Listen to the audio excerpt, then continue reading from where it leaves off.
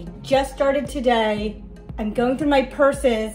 I found this very chic and vintage purse. My sister got me this bag for Hanukkah and I love this bag. It is my weekend bag. I'm a little bummed out because now there is a stain on this bag and I know it's my fault, but I don't wanna take responsibility for it. I tried to put makeup remover on it. It only made it worse. So now I'm going to call my mom because she has the answers for everything and she will be able to help me get this stain out.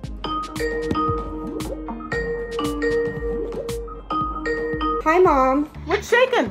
I'm, I'm very behind on spring cleaning this year and I'm going through my purses and I found a lipstick stain in my purse. I don't remember where when it happened, but I tried to take it off with some makeup remover and it did not it did not work. And I want to know if you knew of anything to help me out. Why didn't you do an online search, Emma? Because you are the online search. Thank you, thank you. Is it a good lipstick or is it like? I don't know. This was a not a sober doing. Okay, I didn't need to know that. Thank you for sharing. I think it's easy. Probably need like some dish soap, a little hot water, Dish soap, yeah. cotton swabs or Q-tips, but a bunch of them, not just one. How much dish soap do we think we need? Why don't you take like a little bowl or something and take like like a cap full of it and put it in and then put it in a bowl and then put a cap full of warm water in and then like mix them together. Ooh, okay, I overflowed. All right. I mean, too much won't be a bad thing. Take a little bit, pull pull it out, you know, so it's not like touching the leather part of the back. Yeah, and, and lay it flat. Just like little swirly, circular dabs of it, a little bit at a time. And then once you see it starts to like come up, then use the other end of the Q-tip. You don't want to keep using the same one, then you're gonna swirl around the lipstick mess. Okay. How long should this take? It depends on you, Emma. I don't know how these things happen. I don't even remember that purse. I got it as a Hanukkah gift from Andrea, my sister, like 10 years ago. Oh, it's coming off. It's coming off. Hold it up a second, let me see. You can see it's starting to. whoop. Oh, good. Okay, that's great. So now take another Q-tip. So you're gonna go little by little until it all comes up. Look at you. I'm so proud of you. What are you having for dinner?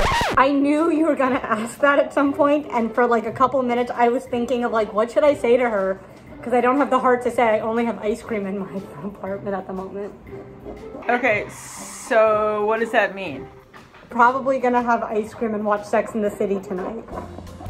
Wait, do I need to drop off like containers of like pasta sauce? No, I'm an adult. I'm gonna do adult things and eat ice cream and watch Sex in the City, and I'll probably do a face mask.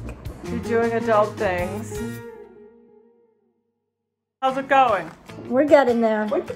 What's that necklace you're wearing? It looks nice. I don't know, you bought it for me. Oh, that's why I like it. We're almost there.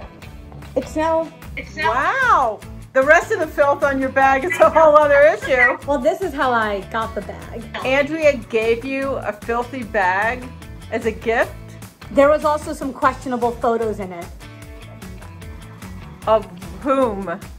I don't know.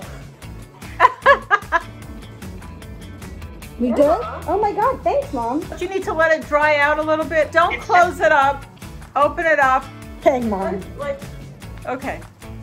Okay. Thank you very much. I love you. Love you too, baby. Bye. I think it went really well. I'm surprised how simple it was. I am less stressed because I know how to clean my bag because it's definitely not the last time I'm gonna have a lipstick stain. My mom and I are typically a dynamic duo, so I wasn't surprised that we worked well together. She was helpful and she knew immediately what to do, which is a gift only moms have. Not even Google can do that. Calling my mom was the smartest idea. It was one of my better life choices. The takeaway from this is you should never hesitate to call your mom.